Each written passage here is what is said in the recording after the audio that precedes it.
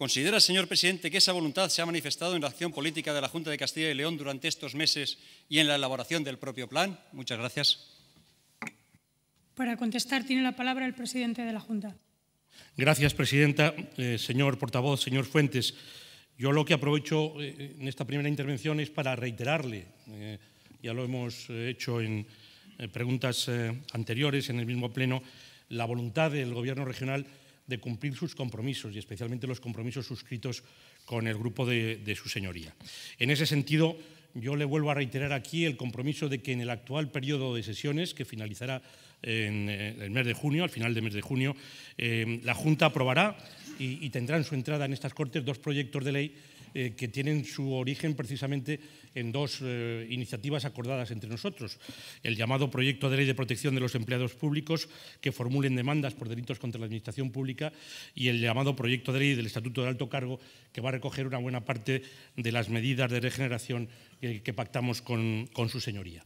Y también dentro de esas prioridades está no solamente la formulación de ese plan de dinamización de municipios mineros, sino también su remisión a la Cámara para su aprobación definitiva. Yo quiero asegurarle, y lo sabe su señoría y lo sabe su equipo, que hemos estado trabajando estos meses en ese proyecto, que hemos abierto la, panoplia de participantes en el mismo, que si originariamente iba a ser un proyecto elaborado por la Junta en colaboración con ustedes que había que presentar aquí, hemos dado pie a que participaran en él los municipios mineros, las diputaciones provinciales, el sector, eh, los sindicatos, los empresarios y que mi obligación y también mi gusto hubiera sido que en el mes de abril hubiera estado aquí presentado. No ha podido ser pero yo les agradezco de antemano esa flexibilidad que han tenido para comprender que no se trataba tanto de cumplir esa fecha, será inminente la presentación, sino de poder acordar sus contenidos. Gracias, señoría. Para un turno de réplica, el señor Fuentes. Gracias, señora presidenta. Mire, señor Herrera, la verdad es que hace muchos años que venimos escuchándole hablar a usted de la minería primero como presidente de la Junta de Castilla y León y yo como un ciudadano de a pie normal y corriente, y luego también usted como presidente de esta Junta de Castilla y León y yo como uno de esos muchísimos ciudadanos que dimos ese paso adelante porque creíamos que no estaban haciendo ustedes la política conveniente. Mire, señor Herrera, los ciudadanos le hemos oído hablar en numerosas ocasiones y postularse como el gran salvador de la minería en nuestra tierra, como el adalid del futuro de la minería, y años después estamos como estamos. La fecha de caducidad, señor presidente, no la pone usted. Basta con mirar la, ardua realidad actual.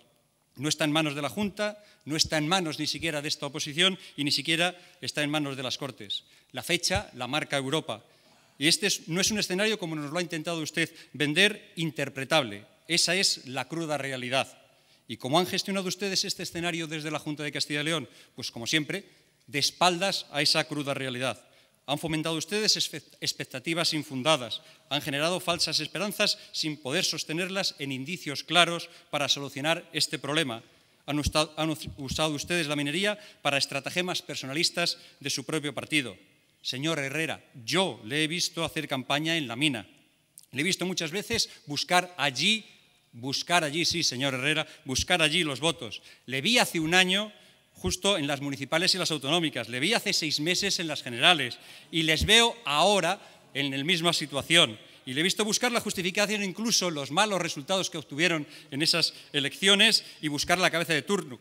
Y por supuesto no voy a ser yo el defensor de quien tuvo que dimitir como ministro por mentir a los ciudadanos. Y porque eso va la cosa, señor Herrera, de verdades y de mentiras.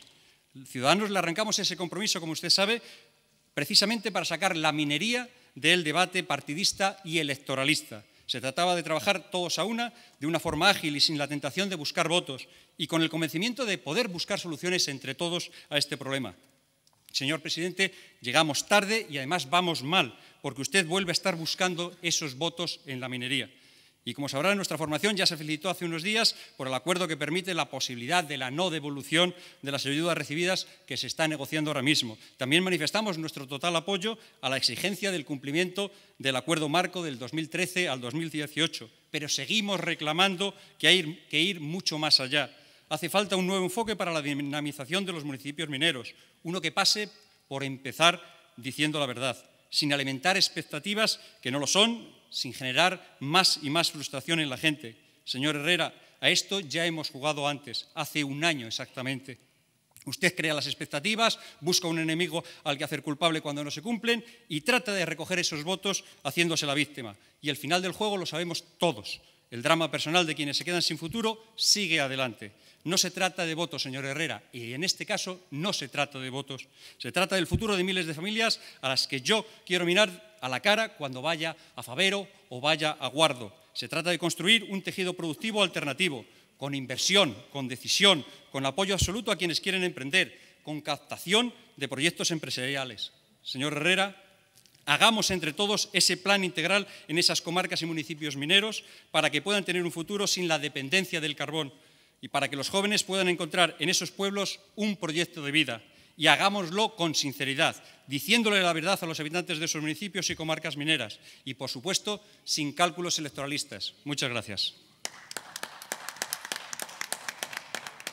Ahora un turno de dúplica el presidente de la Junta. Gracias, presidenta. En poco más de 12 minutos, qué cambios. ¿eh? Desde el presidente encerrado en su despacho al presidente que hace, que hace eh, campaña electoral en, las bocas de las minas. Parece mentira, eh, don Luis, que haya hecho usted esa afirmación pudiendo contrastarla eh, suficiente o fehacientemente. Pero mire, usted en su intervención ha puesto el dedo en la llaga. El problema es que ustedes, y cuando digo ustedes, quienes definen sus proyectos, sus programas, sus, propuestas para el futuro de España, por extensión de Castilla y León, de, León, del norte de Palencia, no creen en la minería. El, problema es que nos encontramos con, la incomprensión de que un plan de dinamización de comarcas mineras puede contener y debe contener como paso previo a cualquier otra medida, y todas esas medidas son importantes, un, compromiso con el futuro de una parte de la minería del carbón que tiene, que tiene sentido, que es rentable y que va a ser rentable además sin ayudas. Lo que estamos diciendo, eh, don Luis, es que es incoherente con las políticas europeas que esas minas que sean em, em, rentables y viables en el 31 de diciembre del año 2018 tengan que devolver las ayudas públicas recibidas para ello. Es como si a Renault, dentro de cinco años, cuando esté en plena producción del nuevo vehículo, del nuevo motor que ha comprometido en el plan industrial, le obligamos a devolver los esfuerzos públicos que no van dirigidos a ayudas directas a la producción, pero sí a otras medidas de, eh, competitividad, de, flexibilidad, de formación o, de desarrollo de parques de, proveedores. Eso es incompatible. Pero yo lo que les pido, y, estoy además convencido porque eh, eh, sería incomprensible de quien partió en el momento de la negociación de los presupuestos el, el impulso conjunto de un plan de dinamización de las comarcas mineras, es que ustedes se negaran a contemplar en el apartado primero lo que es de sentido común, lo que sienten las personas que viven en las cuencas. Acérquese, eh, don Luis, y compruébelo, que es que el carbón puede tener futuro, que tiene sentido, porque empezamos negando el carbón autóctono, eh, acabamos defendiendo la importación masiva, váyase a pensar en qué condiciones, y acabamos, y acabamos con el sistema energético nacional, porque carecerían, carecerían de sentido las centrales térmicas que queman el carbón precisamente en esas mismas áreas. ¿Por qué están esas centrales ahí? Porque hay una cultura, porque hay una tradición, porque hay empresarios que quieren seguir. Estamos hablando de una actividad empresarial en Castilla y León y usted la, quiere coartar, la quiere cepillar. Luego sí, adelante, yo reconozco, llevamos unas semanas de, retraso, me hubiera gustado, eh, estamos colaborando con ustedes, ni siquiera les voy a reprochar que, nos hayan ofrecido, que hayan entendido pues que, esto necesitaba un poco más de tiempo para reflexionar. Pero hombre, procuren hacer cambiar también un poco de opinión a las personas que les dirigen eh, programáticamente. Nosotros modestamente lo hemos intentado. No me arrogaré yo el cese o nombramiento de ningún tipo de ministros, ni con este ni con otro gobierno, pero por lo menos hemos dado un poquito la cara por las cosas que creíamos, un poquito de convicción, don Luis. Y la primera convicción en esta materia, de verdad, la primera convicción en esta materia, y con esto no hago demagogia, hago creencia, porque yo no soy salvador de nada. Yo no he nacido para ser salvador, soy simplemente Presidente, un, tiene modesto, que terminar. un modesto defensor. Es que el primer capítulo de ese plan debe ser un plan que apoye el futuro de una parte del carbón rentable. Creo que en eso también podríamos entendernos. Muchas gracias.